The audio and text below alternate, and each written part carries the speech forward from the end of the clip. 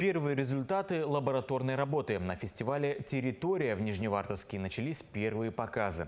Напомню, три молодых режиссера в течение недели готовили с актерами драмтеатра эскизы спектаклей по пьесам современных драматургов. Лучшего должен определить экспертный совет и зрители. Репетиции продолжат в сентябре. А спектакль войдет в основной репертуар, репертуар театра. С работами претендентов познакомился Алексей Шабанов.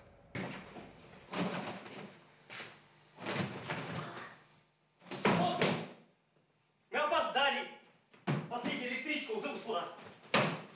Микс грубой действительности и сказки про Алису в «Стране чудес». Режиссер Роман Каганович представляет спектакль «За белым кроликом» по пьесе Марии Огневой. История о трагической гибели двух девочек для российского театра довольно проблемный материал. У нас э, вообще проваливаются спектакли на такие темы, даже если они хорошие. Э, фильмы на такие темы проваливаются, потому что люди ну, не хотят эти темы прорабатывать. Вот. Поэтому у нас все вот эти проблемы. То есть вообще, что русские люди не хотят прорабатывать свою как бы историю, свою как бы жизнь. Вот эти страшные. И это страшный момент. Режиссер уже вдохнул жизнь в мрачную и тяжелую пьесу. Пока удалось сделать только набросок. Впрочем, в этом и суть проекта – размять материал. Работа может быть продолжена на другой площадке, либо эскиз вдохновит кого-то из коллег. Мне очень понравился материал. Э, В общем-то, зря грешат на современную драматургию, что нечего ставить. Замечательно пишут ребята. Есть что выбрать и есть что показать зрителям. Ходик-бой, дырки, дык-дык-дык-бай. Не поняла. Ходик-бой, дырки, дык-дык-дык-бай. Азот. Ты. Ходик-дык-бай.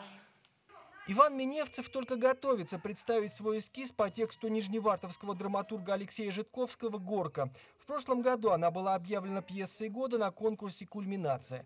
Хорошо многим знакомые будни российского детсада, а по сути фотокопия всего нашего быта. Конечно, с авторскими ремарками. Местный колорит на нижневартовской сцене смотрится особенно пикантно. Это и хорошо в этой пьесе, что он, он из Нижневартовска, он э, знает все, и актеры прекрасно понимают проблемы, которые в этой пьесе. И этот язык э, очень живой э, у Алексея.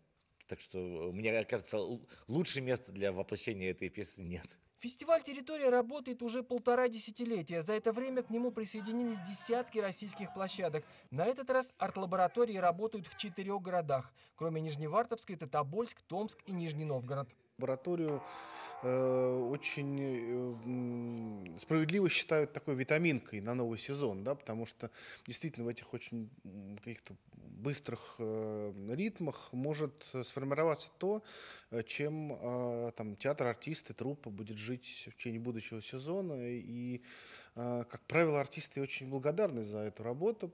Показы продолжатся сегодня. Затем зрителям, а среди них в основном ценители театра, предложат проголосовать за понравившийся спектакль. Эскиз «Победитель» доработают в следующем сезоне. Уже известна дата новой премьеры – 15 ноября 2019 года. Алексей Шабанов, Евгений Лоскутников, телерадиокомпания «Югра», Нижневартовск.